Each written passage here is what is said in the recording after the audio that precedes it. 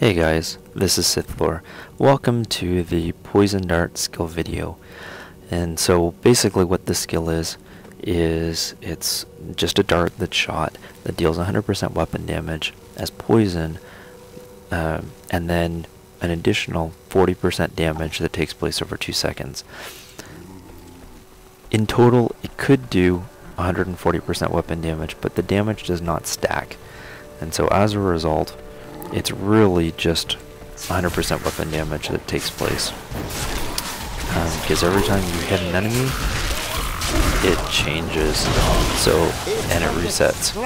So basically what I'm just doing here is just showing the basic rune.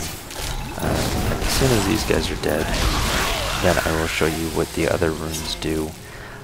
Because of the fact that it, I'm showing you this in Inferno, um, to show you what skills are effective in Inferno and which ones aren't. So in order to avoid the 30 second cooldown, I am going to continuously be teleporting back to town in order uh, to show you the skills without a significant amount of time. So the next skill is Splinters, which shoots three poison darts that deal 60% damage each. So this is a fast-paced skill, but it does do the entire 180% weapon damage. So unlike uh, just the basic rune that does damage over time. This will do the full 180% weapon damage. Uh, yes, I have a Hellfire Ring, so you can see that it's doing some additional damage as well. So this rune, as you can see, just does three basic shots for 180% weapon damage. So it's a really good, really strong, powerful rune. Uh, the disadvantage of this skill, as you can see, is that if people are in the way, then it cannot go through. And since we're dealing with an elite pack here, to use some other skills as well. Hmm. Stay out of the mortar.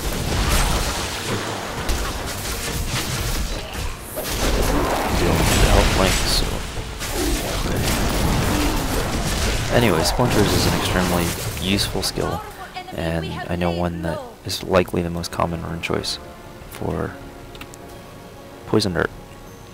So let's go back to town and see what our next selection is. So Numbing Dart. So what Numbing Dart does is it does the base damage, but in addition it also slows the enemy by the movement speed by 60% for 2 seconds. Now if I wasn't using Grasp of the Dead, this is an extremely beneficial skill. Um, but since I'm using Grasp of the Dead, the slow to me isn't all that significant. Um, but I will show you what it does anyways.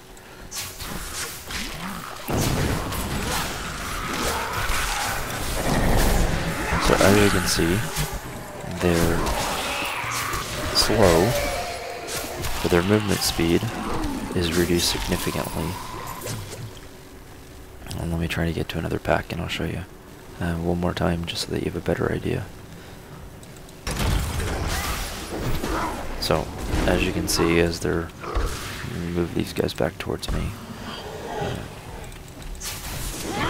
the movement speed slows significantly. So, although it says 60%, because we're in Inferno, it's actually only a 40% slow, 45% slow, but uh, it's still something that's extremely beneficial definitely a good rune to, to utilize.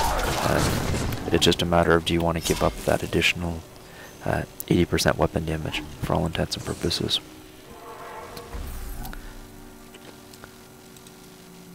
Spine Dart. Um, if you're using a mana intensive build, this can be beneficial as it grants 29 mana for every uh, hit. So I'm going to use some of this and as you can see my mana, or at least it was until I killed him, uh, regenerating fairly quickly.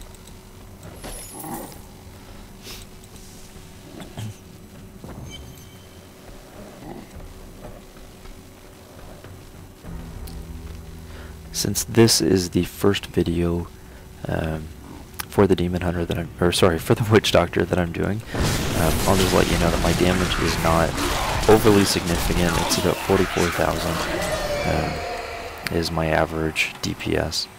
And so it's decent damage, but not huge. So let me get to some more guys. Uh, I will empty out my mana pool.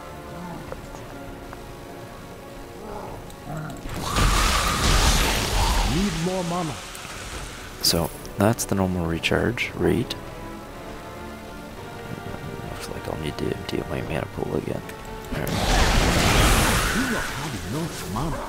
And as you can see, every time the skill hits, that it does, it refills my pool fairly quickly. So, um, if utilizing, uh, like I said, a mana intensive build, then this is extremely beneficial.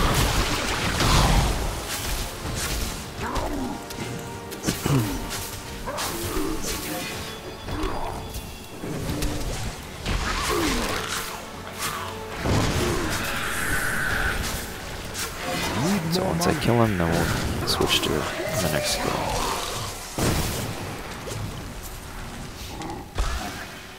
Just go down here.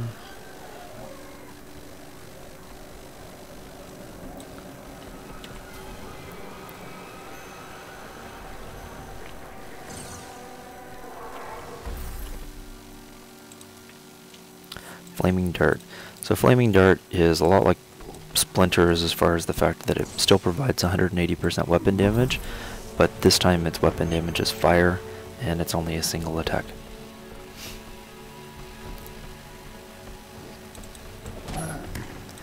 The disadvantage of this is as a witch doctor uses a lot of poison skills, they have passives such as bad medicine. So although it still does the same amount of damage, you, can lose depending on what passive you're using um, some of the added benefits. So that's the only thing to to keep in mind. But um, the 180% weapon damage just makes this a very strong single target skill.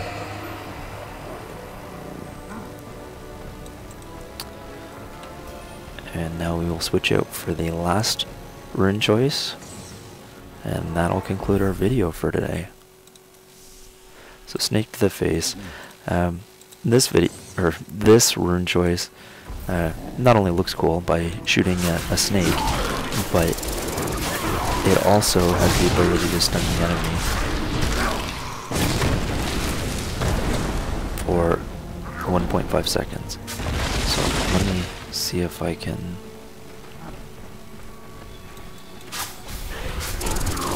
There you can see that he's stunned for a short period of time. So it is a, a an effective crowd control skill. Um, I believe I had stunned him as well. I didn't see it say stunned, but he stopped moving for a minute. So uh, a good skill, not as strong, um, and not something that I'd recommend to replace the primary skill for the amount of damage that it deals.